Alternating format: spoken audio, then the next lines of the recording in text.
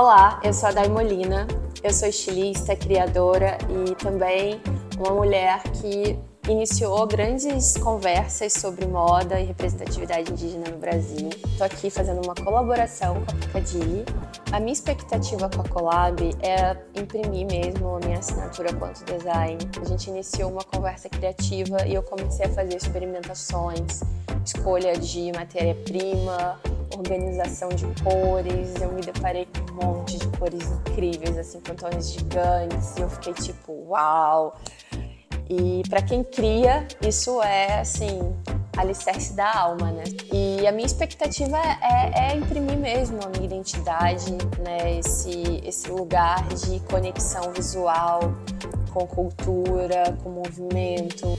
Estou muito feliz e com muitas expectativas positivas sobre tudo isso que a gente está criando aqui dentro da Picadilly.